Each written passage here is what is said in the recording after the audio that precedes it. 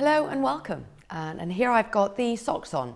It's a sock and stocking aid to help you in getting dressed. It's made out of fabric, so it's really nice and gentle against the skin, but it's also great because sometimes we can get quite hot, sticky feet, so it makes it much, much easier for you to be able to load.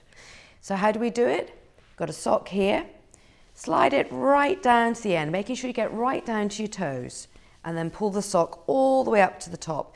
And you're left with this nice wide aperture here for me to be able to slide my foot in. It comes with nice long loop tapes. Again, what we're trying to do here is avoid this bending there. So I can just slide them in on my wrist and then do the other side. Okay. And then I place this on the floor. Use your other foot just to secure it in place.